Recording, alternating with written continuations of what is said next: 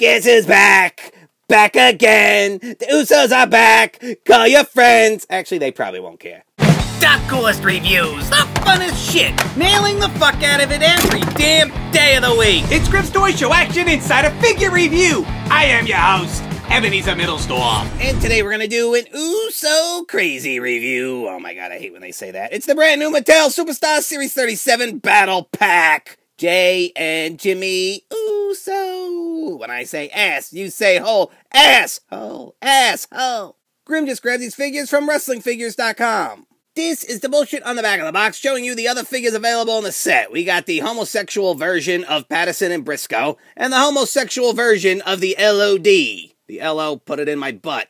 Now, which is which, bitch? I can't figure out which one's Jimmy, which one's Jey, and how the fuck is she supposed to know who to do? Failed it times two. Fuck it, fuck it, we don't care. These motherfuckers have cool hair. And look at those titty tats. What the hell do you think about that?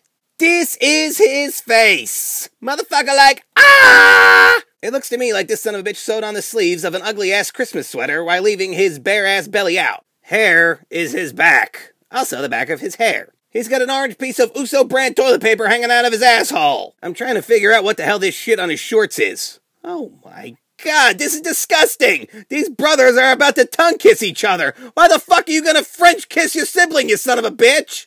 Ah, the pink shit on the bottom of his board shorts is all smudgy on mine. Fuck you, Mattel! What the fuck happened here? His boots disappeared in the extreme lighting! It looks like his toes are floating like UFOs!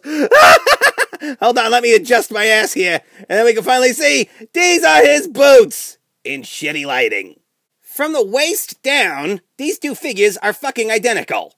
What a waste! This is his face. Looks like he has a cockadoodle doodle on the side of his face. Somebody drew a cock in blue. Nailed it times two. Or three. This dude's ink is not nearly as ridiculous as his twin brother, and I'm like, well, why the fuck is it different? You're supposed to be twins, too stupid! I still can't tell these two turd bags apart, but I'm pretty sure this one here on the right is the one banging Naomi, because Booty had him like, ah!